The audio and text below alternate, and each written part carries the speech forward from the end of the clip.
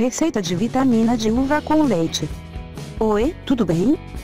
Se inscreva no nosso canal e ative as notificações.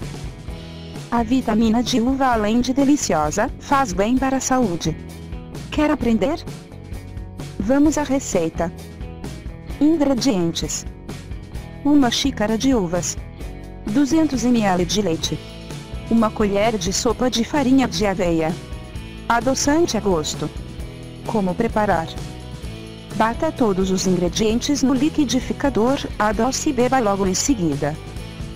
Compartilhe essa receita. E continue nos assistindo. Até mais.